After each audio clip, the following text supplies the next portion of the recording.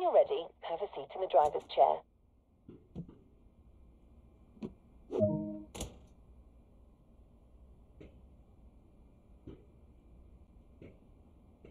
First, you need to get the engine up and running. Now get the engine started. Set the engine run switch, generator field switch, and the control and fuel pump switch all to on.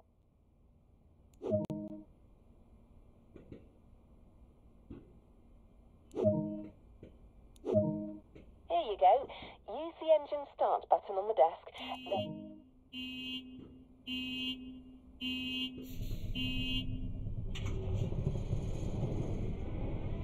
This locomotive uses the PBL braking system.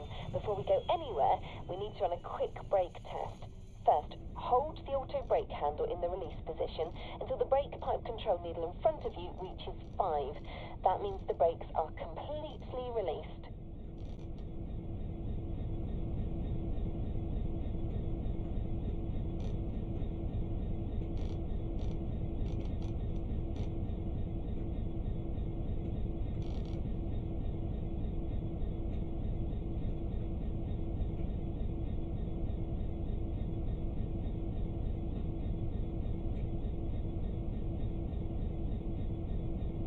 The brakes now need charging, so a full application is needed. This time, hold the auto brake handle in the apply position until the brake pipe control needle is at 3. It looks as though the brakes are working as they should. All you need to do now is fully release the brakes again, so we can get moving.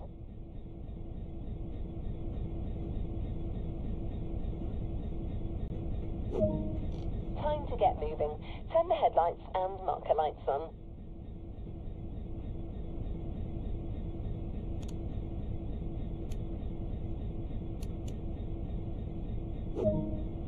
Now you need to release the last of the brake. Nearly there. Now apply some power and get this train moving. Ease the throttle handle into notch one.